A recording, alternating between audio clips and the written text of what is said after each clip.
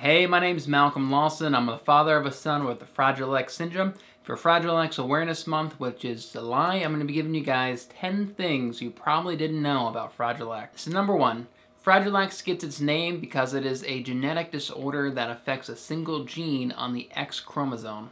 When this gene is mutated, it prevents it from producing a specific protein that is essential for proper neurological and physical growth and can lead to a whole array of different symptoms. Number two, Fragile X is the most common cause of inherited intellectual disabilities, and it affects one out of every 4,000 males and one out of every 6,000 females have the fully mutated Fragile X gene. The pre-mutation of this gene is far more common and affects one out of every 151 women and one out of every 468 males. So this means that they are carriers of the pre-mutated gene and this gene could fully mutate in any of their children. So number three, some of the most common behavioral symptoms of Fragile X are intellectual disabilities, learning disabilities, social and behavioral problems, anxiety, inability to focus, um, hyperactivity, uh, fidgeting, and of course ADHD.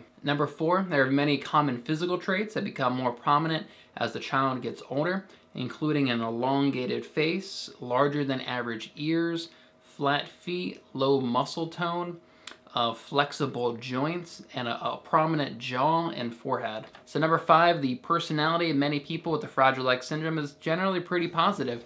They've got a great sense of humor, they're often laughing, they've got a strong visual memory, and they're generally pretty happy people. So number six, the Fragile X gene can be passed along for generations without anybody actually knowing about it. A mother can pass along the Fragile X mutation to both her son and her daughter, while a father can only pass along the gene to his daughter, and that is because the gene is passed along on the X chromosome, but a father passes along a Y chromosome to his son. Number seven, like most things in life, Fragile X syndrome is a spectrum.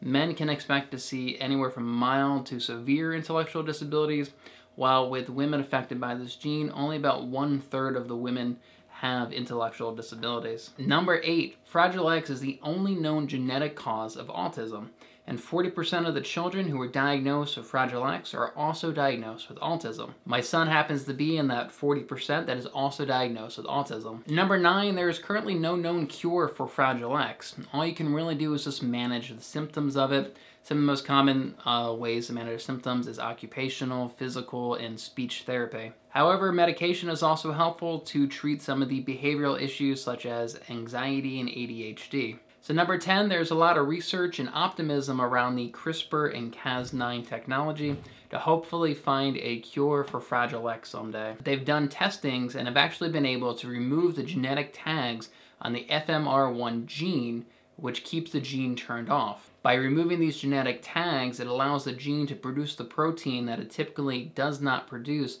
when it's fully mutated. So that's it. That is the 10 things that you probably didn't know about Fragile X. If you'd like to learn more about Fragile X or donate to the ongoing research, then I would recommend go check out the website fraxa.org. They're doing a lot of really interesting research there, especially with the CRISPR and Cas9 technology. Now, if you're a parent that has a child with Fragile X syndrome, I also highly recommend you join the Fragile X Facebook group. My wife and I are on there all the time, and it's really helpful, you know, just seeing other children that are having the same struggles as our child and just getting some feedback from the other parents about what has worked with them, what hasn't worked with their child. So definitely go check out the Fragile X support group on Facebook.